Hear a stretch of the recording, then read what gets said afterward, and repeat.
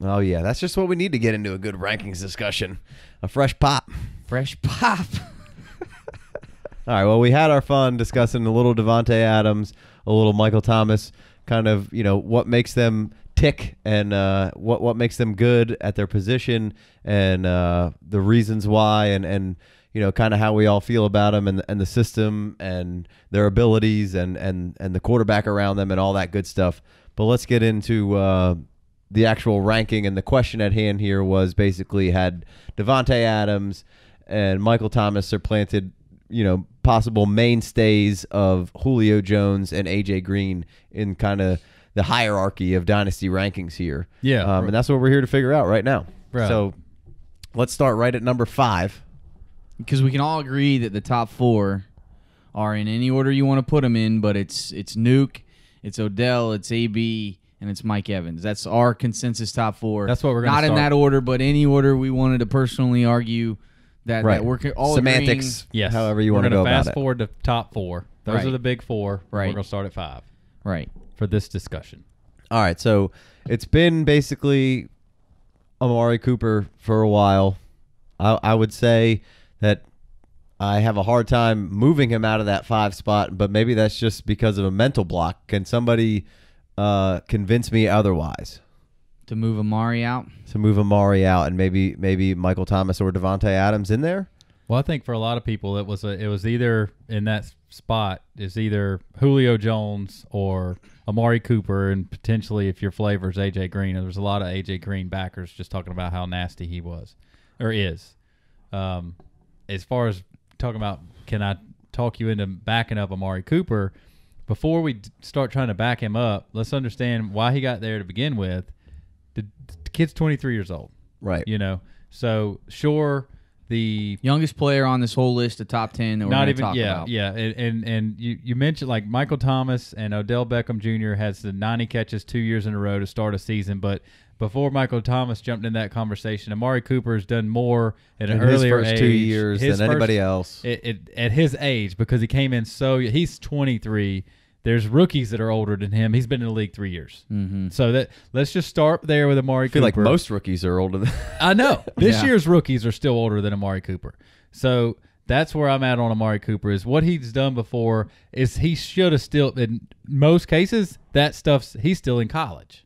So, You know, I don't know if his parents put him ahead in a grade or how this happened, but Amari Cooper's still young as hell. Right, and and we all, eh, whether you like it or not, for, for in in some way, shape, or form, everyone falls a little bit victim of sort of the quote unquote recency bias. You know, the the Raiders were supposed to be really good this year. You were hoping for the breakout. It's the coveted third year, No doubt. No Um, doubt. So you, you know, it's easy to get really down on Amari Cooper with you know you have all the aforementioned things that we just talked about. So You much know, hate on Derek Carr yeah, right. around. You had Derek Carr who was you know in And to parallel what you just said there, it's so easy to make your top 10 the top 10 ri- scores this year. Right. It's it, it's exactly. Right. You got the recency uh, negative and you got the recency positive. It's Right. so easy to look at the top 10 scores and be like, "Yep, that's how it happened. That's what it's going to be." absolutely And that's not how it There's works. there's dysfunction in the Raiders right now. My my biggest thing that I said a while ago from just watching this squad play was that they just they aren't ready to be a team yet. Yep. They're not a team. There's not they're not they're not glued together and you can make fun of me or say whatever you want,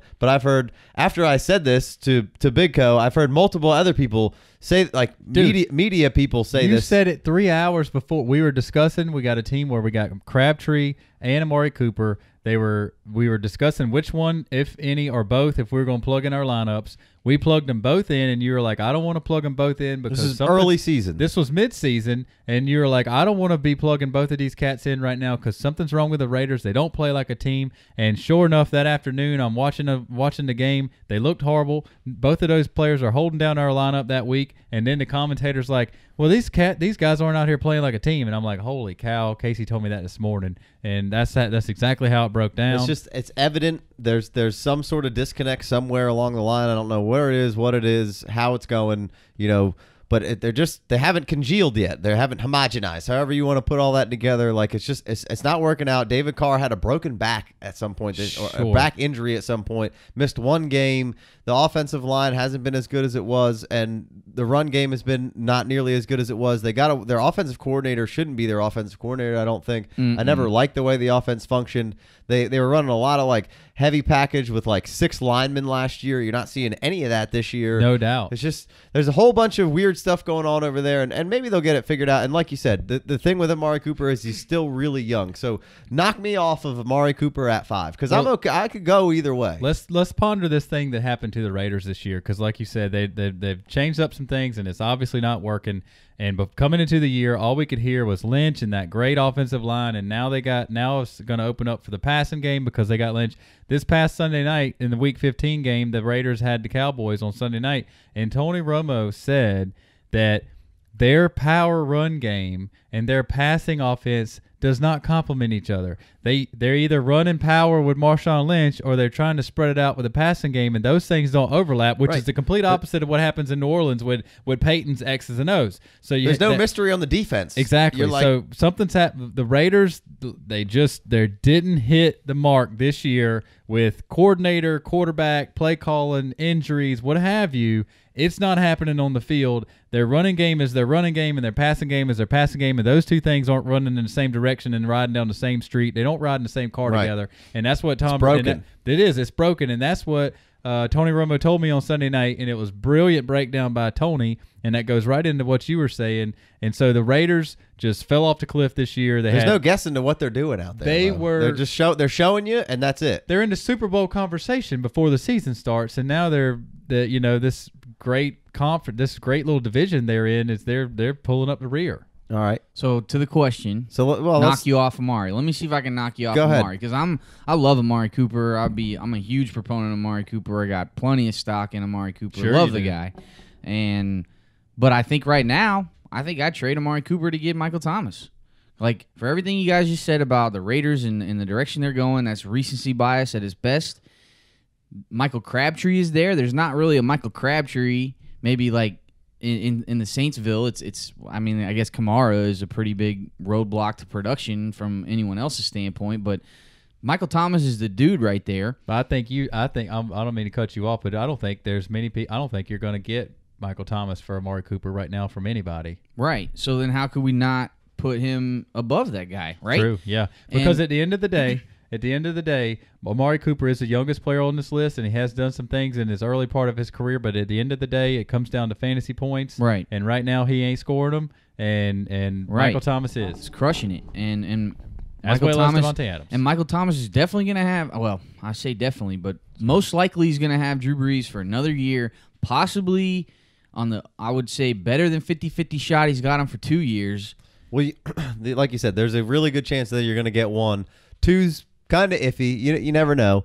Um, My gut says two. I'm going to go two, Well, but that's- possibly that's even who- more. This dude is. and, a- I mean, is a- you could you can you can take one and, and take it to the bank and and figure it out from there. And then, Right. like you said, Yes. if you can get two, you'll definitely you're you personally, Jay Wayne is absolutely taking that at the bank, and you'll deal with it uh, Right. later, which is which is completely fair. Sure. I mean, but I mean, I would like to say that Amari Cooper next year could be Michael Thomas of, of, of in in the same vein. Yep. It's true. You know, and, It's and true. we're just we, you had. I'm only you- knocking him down one Right, spot no, no, here. I, I, eh, I'm not arguing with you. I'm just Yeah. saying, like the general public consensus is, is like, well, Amari's not any good. He's, you know, maybe we missed the mark on this guy, and you know, it's just. Oh no way! You're Who's living. You're, well, a lot of people are just. Well, oh, this is gonna be the third year. When when is it? Still waiting for Amari Cooper to break out. All those kind of Dude, things. Okay, so I, I guarantee you, if you go look it up, I, and I did some of this with Stefon Diggs versus Antonio Brown in the preseason in the in the preseason, but I guarantee you that Amari Cooper has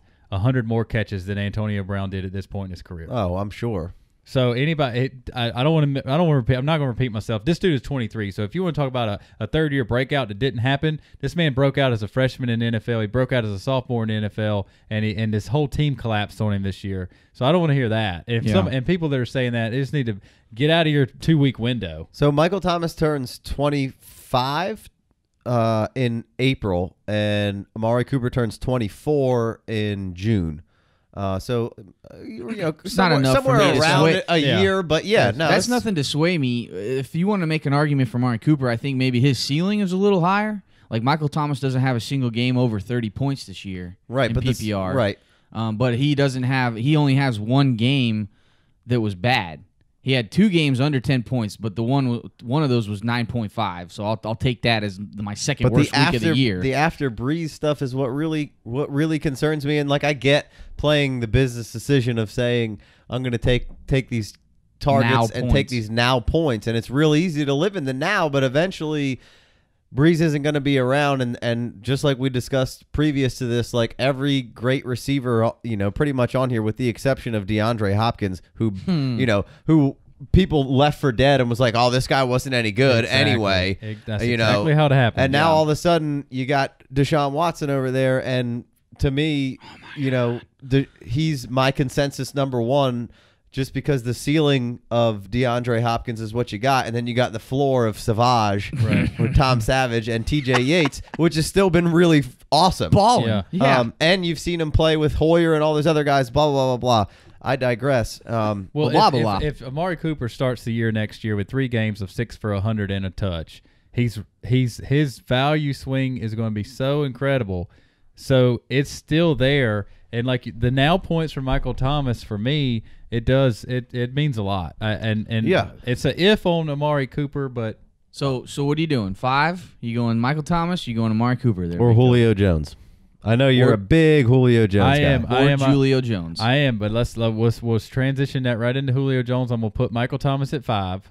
okay. because I but, but everything we talked about in the Michael Thomas segment before, I think he's got stay in power past Drew Brees. The next year or two is a the second year is a huge bonus. Anything past that is just like victory laps. If I can get two years, if I one year I'll take the now points. Two years would be a huge bonus with Drew Brees. Michael Thomas is here to stay, and when Drew Brees lo- leaves, I'll have to deal with that. Well, right. And what you're hoping for is that maybe you get a year or two of like, you know, wide receiver 25 to 18, somewhere around in there, or, or, Before or the next big guy comes around. well, before the next quarterback Right. comes around from Michael Thomas. Hopefully, you get like a year or two of bridge. Well, you, you had know- to deal with that for DeAndre Hopkins. You had to deal with him having Right. the quarterback turnover that the Texans have gone through has cost, costed head coach after head coach after head coach, you know, jobs. So that's what you're that's what you're hoping for. Yeah. So, you, But you- it could never come, but and Sean Payton could be gone. no doubt. But right now, So he's what are you doing? two straight years into top ten in points, and that was his first two years. You got to assume he gets better. The same conversation we had about Amari Cooper last year. I think- except for his quarterback's not thirty nine years old. Right. Right. So uh, that's what it comes down to. I think I think I'm with you guys. I think I want I think I want Michael Thomas at five. Okay, that's nice. I that's very surprised that we all three agree to that same number. So that's We really got somewhere Okay, here. a top five. Uh, Wide well, I mean, this is Michael all Thomas. this is all speculative, way too little soon, early. yeah. You never know Oh, what the it's hell's fun. about to happen Well, and right. unfold. and Drew which- Brees isn't even where- on deck for next year where other receivers so- go in Yes. other places. But and all Michael that. Thomas at five is a good one for tonight. We feel um, it's good. We feel good.